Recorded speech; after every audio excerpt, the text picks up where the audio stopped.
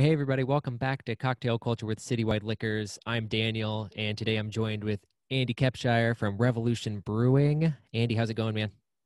Going good, Daniel. How are you? I am doing really well today. Um, we, yeah, like I said, it's our second interview, so we're just getting this rolling. Um, so I'll just start with the questions, man. So, how long have you been in the beer industry? Been in the beer industry, uh, I want to say a little over eight years now. It's a little blurred, uh, like when it officially began, but started off uh, working at a liquor store and then got to the distributor side for about four and a half years. And now I've been with Rev for three and a half, coming up on four years in April. That's awesome. And there's definitely been a lot of changes at Revolution, at least in the last, you know, since you've been there, just explosion of growth, it seems like. Just, uh, would you, would you think the same? Especially in Northern Indiana. Like right. our, growth in Northern Indiana has been absolutely nuts, even with the pandemic going on. Uh, I actually just got off a meeting with our distributor, and you know our off-premise business is up like 26 percent. Wow. Overall, we're still growing at almost a 10% clip, even with us losing the bars for a while. So it, eh, we've been really fortunate to uh, keep growing and have such acceptance here in Indiana. Yeah, exactly. I mean, I know Revolution's a big brewery, and uh, like even just, I guess last February 2019, me and a couple other guys from our store were able to come up, and you gave us a nice tour of the the brewery up there, and it's just quite the setup for sure. Thank you. Yeah, we uh th- those 800 barrel fermenters are so big, yes. and they're, they're imposing when you get to look at them. I was really happy to have you guys come up, man. That was a great time. Oh, definitely. Yeah, for sure, man. We appreciate it. Um, so, so what uh, brought you? I mean, so you worked at a liquor store, worked at a distributor. What made you want to go work at a liquor store? Was it just a job to start with, or was it you had some interest in the industry? Uh, both. It, it was. Uh, I'd gotten some interest in the industry. Um, pretty much like right as I was getting out of college. So freshly 21, 22. For sure. Wasn't really a big domestic drinker. Yeah. And just started trying different stuff. Um, so I, I got hooked on craft beer like right at the age of 22. I remember like I was at Kuma's Corner in Chicago. Mm-hmm. Said screw it, just tried one off the menu. It was uh Tiernina, Rocky's Revenge, their barrel aged oh, yeah, brown. For sure. And I loved that beer and then just like started finding everything else I could enjoy. Um it was around that time when I got, you know, bouncing from job to job because, you know, whatever you get your college degree in usually doesn't matter for where you end up. Right. right. Uh, um, so started looking to get on the beer side of things and had my resume in to some distributors, um, some suppliers, and picked up a part-time job at a liquor store while I was waiting. Right. Awesome. Yeah, I think that's how a lot of people start either doing liquor store or distribution. I started the same way. I started at a beer and wine shop and moved on to distribution and now back at a beer and wine shop and liquor. So it's coming full circle over here. oh, absolutely. So I know we, you hear it, maybe not as maybe we've both heard it a lot by working in liquor stores, working in distribution. There's always an old man saying, "What's this new thing, craft beer?" And I think we know that craft beer is a is a trend from the started in the 70s and is is here to stay for sure. But yeah. uh, what do you think? What current trends within craft beer do you think are are here and are gonna keep going? And maybe even which ones do you think are are a flash in the pan? Um, but and I know like you know the seltzer trend's a monster right now. I think seeing right. these craft breweries jump into the seltzer game is here to stay. I think a yeah. lot of them are going that way.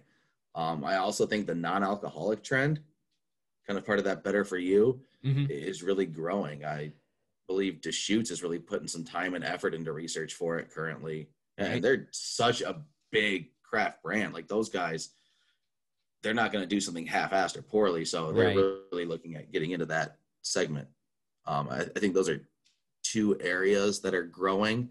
I, there's no point talking about hazy because that's been such a huge thing for like five years now. right, right. Um, but I, I, also think there's a return to session beers that yeah. we're starting to see. Yeah.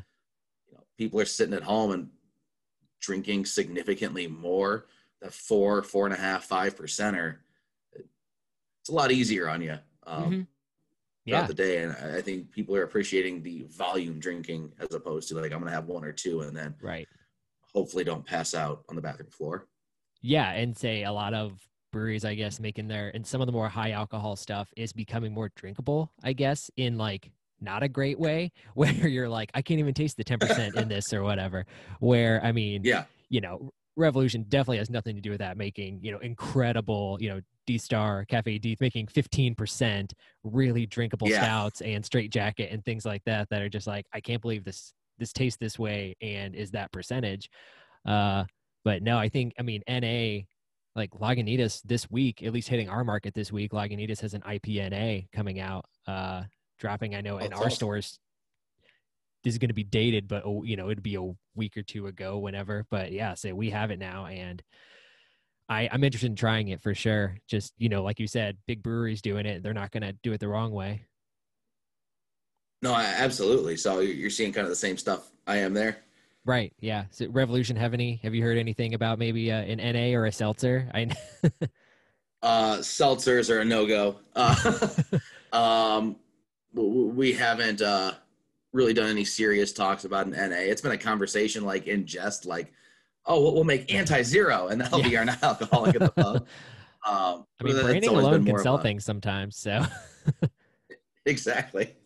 Uh, that, has been more of a joke than seriousness. Right. I'm, I'm right. sure it's something we'd look at more down the road.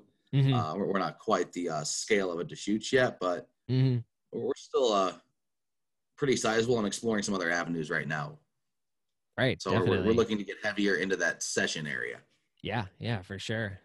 Uh, so, I mean, there's a lot of hype breweries right now, you know, ones that people you know whether it's it's great for the industry it's great for people drinking them but what do you think what breweries right now do you think are underrated that people should be drinking more of there's two that come to mind i, I looked at it from like two different angles mm-hmm. one was who in indiana is yeah. really underrated and also like in our home market of chicago so in indiana i think new oberpfalz is okay drastically underrated for the quality of liquid they produce. Like it's super consistent. I've not had a bad beer from them. Yeah. I, I would love to see them talked about more on the scale of um, our larger local brewers. I, I'm yeah, that's, that's hilarious because I've done two of these interviews now. You're the second, and they are two for two for that question. Like I, yeah. I just yeah, I talked uh, talked to Zach from Craft Roads the other day, and the same. Right he, he, he they were the first one he said as well, and I 100% agree. And I think they make great stuff. Maybe if they move into cans sometime soon, um, I think the maybe people are just like, oh, it's bottled. We're like, you get those old again, those old drinkers who are like, I'm not going to drink anything in a can, but all the new current drinkers, IPA drinkers, are all moving to cans because they know it's a better vessel.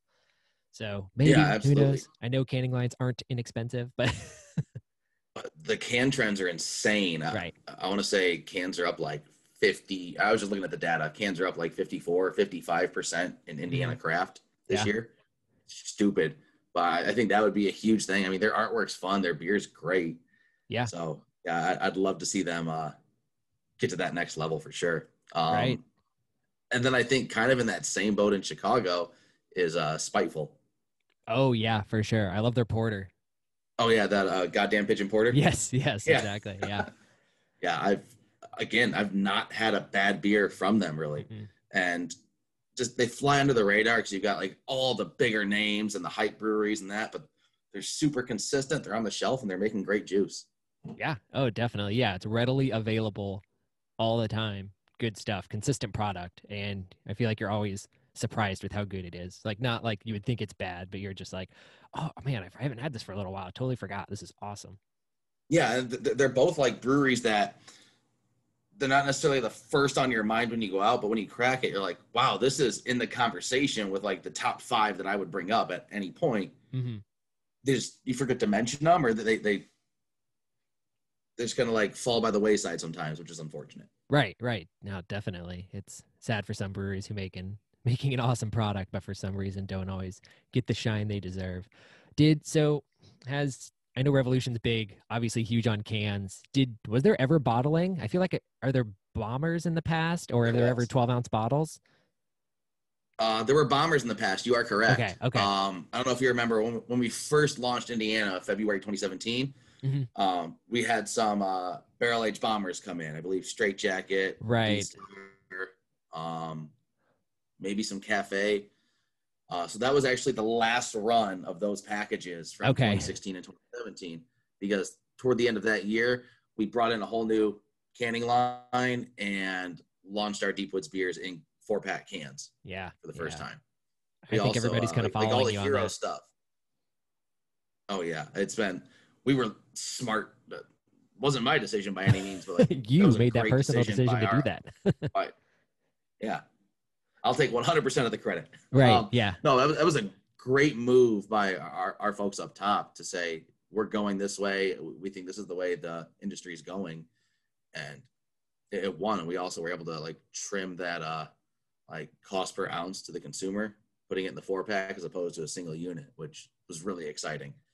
Um, and before that, we had like all the hero beers, like the IPAs were coming out in bombers, our saisons, cross of gold. We, we had a lot of that running. I want to say to like 2014. I, I could be wrong in the year, but for solid amount of time. Right, right. No, it makes it seems like yeah, Revolution is definitely on the early cusp of of doing cans, doing craft beer in cans for sure. I remember working at you know distributors, and I remember working at yeah liquor store in 2012, and people you couldn't sell Dale's Pale to people because they thought it was no. cheap junk because they were like, it's in a can. Why would I want it? And to like my big craft beer drinkers who, you know, regulars and stuff. And I'm just like, great pale. Like, what don't you, you know, and they were, people were kind of, you know, against it at the time for sure. Yeah. It's kind of mind blowing. I think that they were against it. And you're trying to like sell it to them like, hey, this is lined with uh, food grade plastic. You're not right. getting the metal taste. And yeah. And it's going on deaf ears and now like yeah. it is what's moving right right so I mean, it's, it's kind of crazy oh definitely I, st- I still hear sometimes i've seen people say oh it's just it's just cooler to drink out of a bottle i'm like i literally don't care what it looks like or like one pour it into a glass and two yeah. like i just want it, the good product like maybe maybe my priorities are wrong maybe i need to re-examine my life but it's i don't understand sometimes I mean, if you're looking at quality, there's something wrong there. But. Right. Exactly. Yeah. yeah exactly. So it is uh, this time of year. It's uh, you know getting colder. People are drinking those higher ABV things, and it's also the time the Deep Woods comes out every year. Um, so yes. so far we've seen uh, Death Star, we've seen Cafe Death. Um, I know some others are coming. What else is on the schedule? If you're allowed I know to we've say. got straight Oh yeah, well, yeah, absolutely. Um, we've got Straight Jacket and Death by Cherries coming. Oh, cool, awesome. Do we so, have a so, general uh, time frame? I know they kind of like pop out every couple months. It seems like. Yeah, so we, we try to do like one big release a month, um, okay. starting in October. Okay. And I want to say they're coming to the distributor by end of this week. Oh wow! Okay, awesome. Yeah, yeah. We, we so we, we what we've been doing is the release of the brewery and then allowing it to start hitting trucks to our distributors. Gotcha. So we get our release out of the way and then start shipping them out. Awesome. That's um, incredible. In terms of what's coming after that, we're going to have, uh, I know Rye Way to Heaven's going to make it out this way, I believe. We're, awesome. we're doing some other smaller batch stuff that might be brewery only. Like we're going to have Mineshaft Gap coming, which awesome Doctor Strangelove reference in the name. Right. Definitely. Uh, yeah, of course. um, but, but that's going to be um, another like barley wine type ale in uh hmm. I can't remember if it's cognac or Armagnac barrels, but that, I don't think the American taste might be tell a difference. Probably not. Um, or French taste for that um, Fair enough. at that point, with all the beer in there and uh, second use, basically.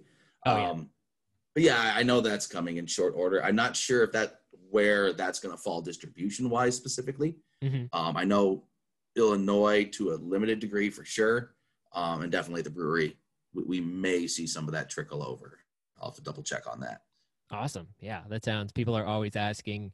They're like, I know this is coming out, or I know like why isn't this out yet? And I'm like, they they don't all come out at one time. The deep woods, like they forget it's like a trickle of yeah, like you said, one or two a month or whatever. People are like, they still like to think they all come out at once. But and let's be honest, like the, the Bourbon County releases probably are what have like primed them to expect things that way. Probably, yeah, definitely. Seems like everybody that like Thanksgiving week, you get a ton, get a bunch of people start hitting all their bourbon barrel stuff, and it's a good time. It's a good time for beer for sure. oh yeah, I, I love that stuff. so I mean, speaking of like, uh, so I know it's tough to uh, determine what your favorite beer is, but I I find myself I drink whatever I want whenever I want. You know, like year I'm not a big seasonal drinker, but it is you know it gets colder, you start to feel stouts.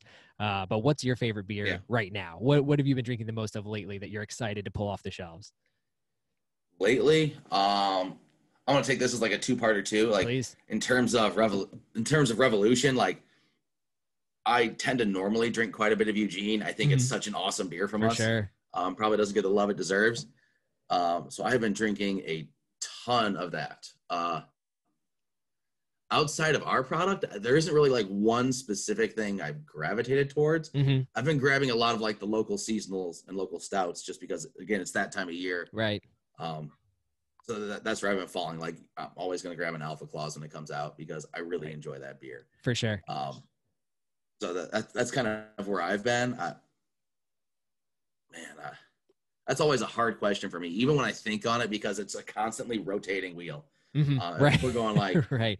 That's why I even try to narrow it down a little bit by saying like beer right now, as opposed to your favorite beer overall, because it's difficult anyway. But so yeah, I, I, will go with pretty much any of the, like the, the seasonal stouts right. and porters that are mm-hmm. coming out right winter now. warmers, things like that, spiced ales, those kinds of things. Absolutely. I don't like it crazy spicy, but like Alpha Klaus is like right at that level where I'm really happy with it. Mm-hmm. Um, and again, any other like seasonal porters and stouts. I'm a big porter stout drinker to begin with. Mm-hmm. I'm also going to throw in there like this is my favorite any time of year. Any of the Drie Fonteinen sours, yes. lambics, gueuzes I can get my hands on are always like top three in that list. So. Oh yeah, definitely. No, I love love when we have those available, and that's pretty regularly for us. They don't I, I love having people from California and like New York come into Indiana in our area and say like, I cannot believe this is on the shelf. How is this not sold? Because those areas they just like pop off, and then in Indiana it's like, yeah, we have them. Like, come get them when you want them. It's, it's, it's very exciting. Yeah, it's a blessing and a curse. Exactly. try not to buy as many thirty dollar beers as I can. I try to try to avoid that. Treat them for uh, special times, definitely. I, yeah, I, I, struggle with that where I walk in like, ooh, it's not gonna hurt if I grab one or two more of these. Like, nope, you gotta stop. Like you got, you know, a car note to pay and Yeah, yeah, yeah. I know um what in the last year, last two years, I know you've been hitting the gym a lot more, been working out, and I know you were really big on hard seltzer. Speaking of, and if uh, Revolution isn't making them, uh, what is what's your favorite hard seltzer? Um, even that, like, I don't necessarily have a favorite. I, I I'll bounce like it's more flavor preferences as opposed to right. brand preferences. Mm-hmm. Um, so like I, honestly, I drink a lot of uh, like White Claw mango for sure, or the lime. Those are probably top two just in terms of availability. Um, I, have enjoyed. Oh God, I can't remember what's the one out of Wisconsin. I'm spacing oh, on Untitled it right now. Art. Them and there was another one uh, came out. I want to say either early this year or late last year. Mm. I, am I'm, I'm spacing on it, but I, they, they, were awesome. I, I'm also one of those weird folks who's a big fan of the Corona Refrescas. Right. I I've not tried those, but we they Corona started doing those seltzers, and the Refrescas kind of like fell out of the market a little bit, but they're coming back, and people have been like asking for them for sure. Yeah, I, I know they're not as healthy as the seltzers, but oh, yeah. damn, do they taste good? right, right. Maybe that's the uh, that's the thing. I'm when you're low fat ice cream versus your your full fat you're like why does it taste better oh wait it's worse for me that's why it tastes better exactly and one gram of sugar we're stuck in our houses so who cares yeah yeah yeah exactly yep yep don't uh, don't even look at the scale all through the holidays that's i'm just like i don't care i'll, no. I'll worry about that in march gotta stay warm exactly. for sure do you mind if i uh share a couple pictures on here? Oh yeah, go ahead, man. Yeah, definitely. Awesome. Uh, I really wanted to talk about like our the new packaging that we're doing. I figured it'd be easier to throw it on a PowerPoint. Like, oh yeah, we've got awesome. You've probably seen it in the market already. The new anti-hero cans. I love our new artwork, and I'm really excited. And just wanted to like let people know like keep an eye out for the new artwork. Like that, that the can yeah. visuals are changing a little bit. Um, so we got anti-hero that's in market now. You saw the mm-hmm. new League of Heroes already. Yes, yeah, definitely. If we've been rocking those for sure. We're gonna continue. We're gonna continue this sort of theme of like we're gonna do different artwork on each package. Oh, cool. It's a little thematic. Mm-hmm. Yeah, so I'm really excited for those to keep coming. They should pop off the shelves a little more than just the black suitcase look. Um, Everyday Hero and Hazy Hero are coming as well. Oh, Hazy cool. Hero awesome. is like right in the pipeline very soon. Um, and Everyday Hero, I'm really excited for the new 15 pack we'll have on that. Yeah. Got the new Christmas cans as you see in the market and Coffee Eugene coming behind it as a seasonal. I'm so excited to see it as a seasonal. I love yes. that beer. It's my despite all the barrel age stuff, it's my favorite release we do every year. Yeah, so I, I love uh, that porter and I love a coffee porter for sure. I think it's I don't know, sometimes it hits better than a coffee stout. It's it's like the closest thing we can get to coffee bender in Indiana, that's for sure. oh my god, I love coffee bender. Man. uh, a darkness day release was like one of my first big beer events I went to. oh yeah. It shaped me. Yeah. Um, but yeah, I'm excited for this. We're also partnering with three different coffee roasters. So oh, awesome. there will be, so yeah, w- there's going to be a way for us to identify like which six pack is which roaster because it's going to come in different waves. Oh, cool. Yeah, definitely let us know so we can pass that on to customers because I know people love to know that and love to like try different versions for sure. Absolutely. I, I will make sure to get that info to you. And then uh the new 15 pack an everyday hero, taking kind of that uh Marvel-ish approach, and mm, mm-hmm. instead of Avengers Tower, we've got like a hero tower that we dropped in the middle of a Chicago. Oh yeah. Uh, escape. The next thing is it's really exciting for us. We do have a new product coming early next year. Um, speaking on the session stuff and seltzery type stuff, we're gonna have a variety pack of Freedom sours. Oh, awesome! That's that's incredible. That'll be a great seller for sure. To me personally. yeah, I. Th- that's the first thing I said when we came out. It's like this is the one product that I will bring home from the brewery every time to drink. Right. yeah. Heck um, yeah, definitely. We those those sours just crush it. Have you?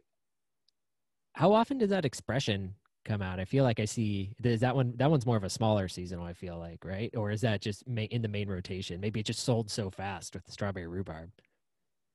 So like with that one, it's uh just going to be kind of a rotational release that okay. we, we've done. So we came out with it uh, last year and then again this year and now it's going to make its way into the 12 pack. So it might be a while before we see it in 16 ounce cans again. Okay. Um, because we're going to start releasing like other limited sours where we're testing flavors and stuff. Sweet. In that mix. Yeah, that's awesome. So I, I think that'll be fun. We're going to see. I know we've got like something with raspberry coming. Uh, a watermelon mint was talked about, and there was another flavor I can't think of uh, right now because it's, it's all like r&d stuff that we're just gonna like hey let's let's see what works and see what the public thinks about that right i mean and that's something exciting for for definitely you working on the brewery side of being able to hopefully you know get some of those test batches test flavors and see what you think it's especially they kind of have to without the tap rooms are the tap rooms open right now at all no um, we're, we're doing some carry out business but right. Chicago. Um, basically, if you've got a patio, you can keep rolling. Right. Some folks are choosing to. Yeah. Um, but it's been pretty tight right now. Like we've got our brew pub shut down until mm-hmm. tentatively March. Yeah. But we're still doing a carry out at the tap room, and that's how we're handling all of our barrel age releases too. Oh, okay. Like pre-order. We do like a pre-order setup online, and you check in when you're coming to get them, and we uh get them to your car. Gotcha. Awesome. Yeah, that makes sense. Yeah. Well, I mean, you definitely without having the the tap room R and D there to see what sells and what people are liking and what's rolling through. You know, hey, we sold 10 six barrels of that this week. Like maybe we should can it or something. As if so now they have yeah. to lean on you guys a little more. Oh, when you're like, absolutely. I just want to drink Fist City, like. yep. like, just give me more lagers. And... oh man, that would be killer.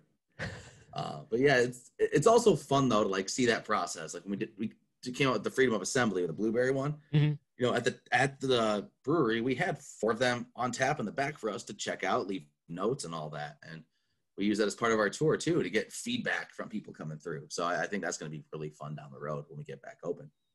Awesome, yeah, that's so exciting. It's exciting to see those new packages, uh, ready to see them on the shelves for sure. Even though it's weird with packaging because as much as you know you want people to have a familiar thing to go to um, even and even though revolution has great packaging already to start with but it's nice to see some brands starting to do some refreshes and it just like keeps people's eyes on them on the shelves for sure. No absolutely. I thought what new belgium did over the last couple years has yeah, been incredible. definitely. Uh, we're looking to get into cartons down the road. Cool. So i think that'll be really fun and uh, the big thing for us wanting to get in that new package too is like we had come out with so many new beers. Mm-hmm. We really wanted just our stuff to all look like Revolution beers next to each other and mm-hmm. not as much of a kind of a mixed bag on how they looked. Right. Definitely. Yeah. That's, um, I mean, with the hazy hero, I feel like that one's just like slightly different, not having the fist on the can, right? It's yeah. just like a slight, slight difference. But I mean, people, it's still Rev branded for sure.